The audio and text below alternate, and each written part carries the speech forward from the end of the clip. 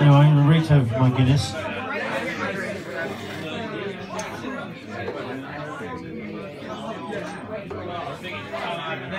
But my lips look really kind of fulsome and luscious at this point.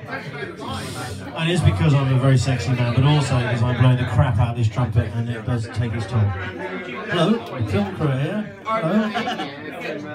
Okay, um, this this re- this next track is uh is um is the most sampled drum loop in history. At the beginning of this, sampled by the Sugarhill Gang most famously, and Grandmaster Flash. So uh, I think we've hitched our wagon to a star here. This arrangement will be catchy. Yeah, I-